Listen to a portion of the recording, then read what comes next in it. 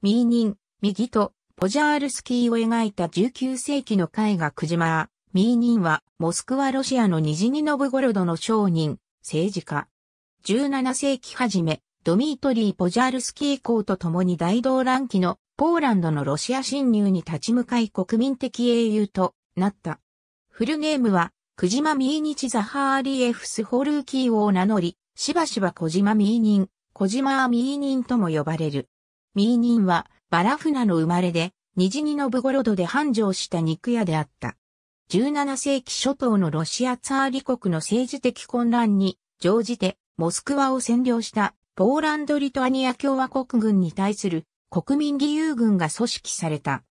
プロコピーリア・プノフラが1611年に組織した第一義勇軍は崩壊したが、1611年秋、ニジニノブゴロドの商人たちから信頼されていたミーニンは、商人たちから集まった資金を託され、第二義勇軍を創設し、リーダーとなった。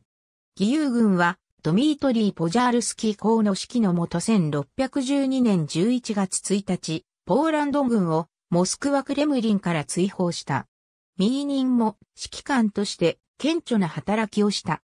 翌1613年に召集された身分制議会ゼムスキー、ソボルで、ミハイル・ロマノフが新たにツァーリに選出され即位したが、ミーニンもミハイル・ロマノフの下で貴族となり、帝国議会の議員となった。1616年に没し、ニジニノブゴロドの大聖堂に葬られた。ニジニノブゴロドのクレムリ前の中央広場は、ミーニン・ポジャールスキー広場と名付けられている。ありがとうございます。